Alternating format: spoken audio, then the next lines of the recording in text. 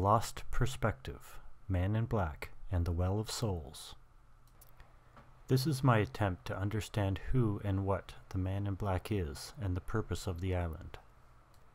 The evidence from Lost episodes include Dead is Dead, 512, The Conflict Shrine Under the Temple Walls, Across the Sea, 615, Mother's Conversation with the Boys, and Man in Black Going into the Light, and The End, 617, Jack and Desmond in the Plug Room.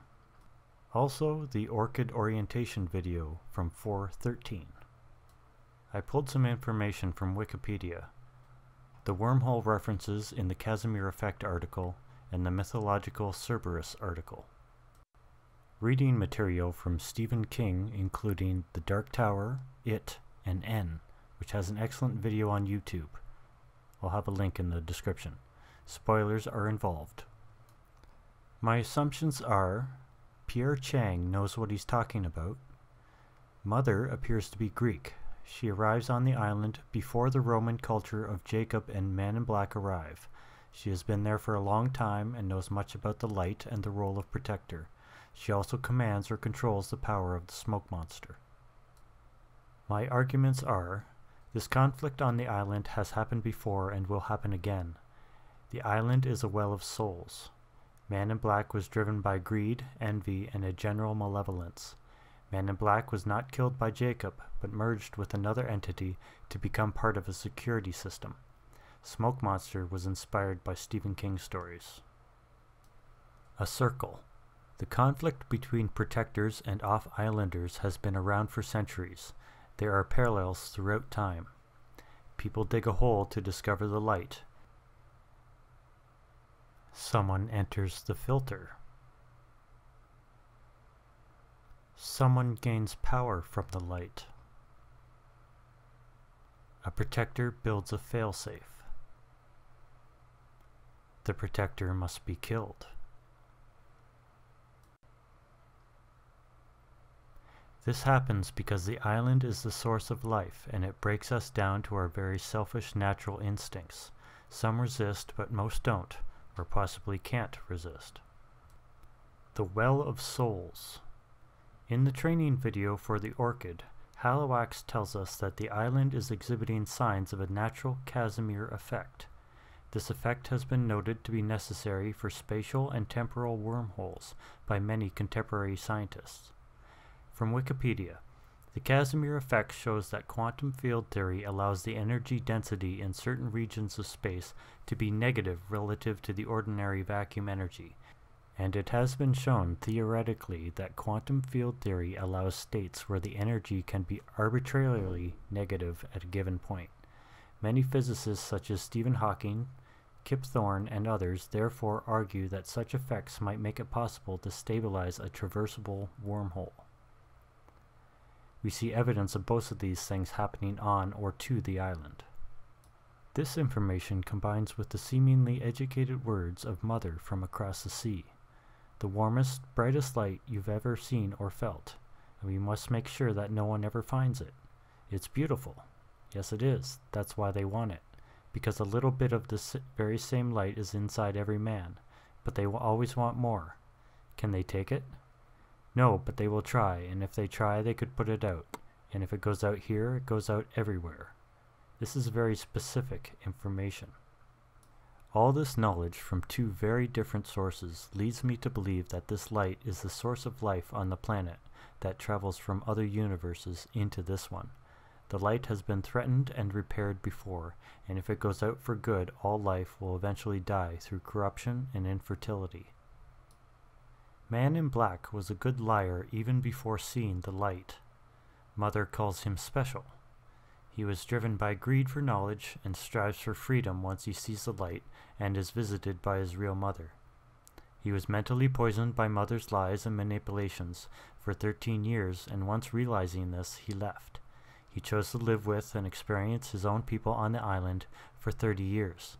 The cynicism of Mother towards people continued through Man in Black because of her very own actions. Because of this, he continues to see and push for the worst in people. He suffers from confirmation bias, so even the small niceties are meaningless to him. His entire life was a lie, Why would it change? Man in Black and the Plug Room. The light and water have been combined in the plug room similar to how Man in Black combined them at the Orchid. A previous protector or architect of some kind created the plug, water vents, and the hieroglyphs. They must have done that to protect the light from other corrupt men. If the island is being a cork to keep out the darkness, the water is a filter and the plug is a relief valve for the water, which allows every soul to enter into this world. That makes it the single most important thing to protect in the world. When Man in Black becomes part of the filter, his presence throws off the balance and allows the soul through, and because he can't die, he merges with it. In the violent exchange which would have killed anyone else, his body is discarded and the newer bodiless soul literally gets overwritten. Mother called it a fate worse than death. They are released combined as the smoke monster, a man's soul combined with a bodiless entity that we see in Across the Sea. This filter and security system must have been set up at some point by a previous protector, perhaps as a biological weapon to cleanse the island, much like the Tempest did taking out the Darwin Initiative. However, this time the smoke monster has the mind of a man and can't be controlled like previous security monsters. In mythology, Cerberus guards the underworld. In the hatch, just before potential destruction, the numbers flip over to hieroglyphs which say Underworld. The hatch map also references multiple Cerberus locations. Mother protected Man in Black from dying by Jacob's hand, then gave him a cynical viewpoint on the world. Jacob and the filter then gave him a new body designed to protect the island, which clashed with his intentions of leaving. Once again the world was against him, for good reason, and all he wanted to be was free. So what are the abilities of this security system? The most obvious are limited flight and invulnerability. We see the monster multiple times, while not exactly hostile, reading or recording memories of the people that it meets. Considering what we know, we can presume this is a form of judgment of the person's past and potential future. This ability is great if you're trying to cleanse the island of corrupt people, but what if you're actively trying to corrupt these very people? it becomes a much different type of tool. This ability couples nicely with being able to project either the dead on island or those stolen from memories. The idea of barriers between worlds has been explored in many other pieces of fiction. With one of my personal favorite writers, Stephen King, many of his works have used this idea and the darkness in between worlds to create conflict.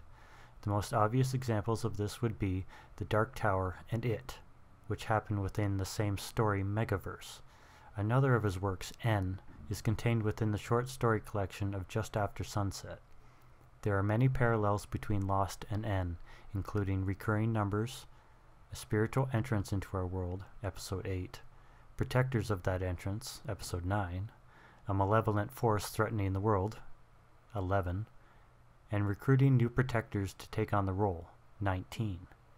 I read this randomly during a rewatch of Lost and I couldn't believe the similarities. So my major conclusions are the water combined with the plug is a soul filter which allows souls normally into this world. It was designed to repair the damage of someone who dug at the light previously. This filter spawns a defensive smoke monster whenever someone tries to affect the light. Our smoke monster is a security system made up of an otherworldly body and man in black soul. His motivations to leave the island are contrary to the purpose of his existence as a smoke monster, which is to pr protect the light. Mother's murder and lies poisoned and created a malevolence in Man in Black. If he had made it off island as a man, he would have turned around just like Widmore or Hanso and done his best to return and harvest the light. If a smoky man in black had made it off island without destroying the island, he could have corrupted and destroyed most people in the world, perhaps finding other sources of light on Earth, such as that in Uluru, Australia. The horrific events of Stephen King's The Stand come to mind.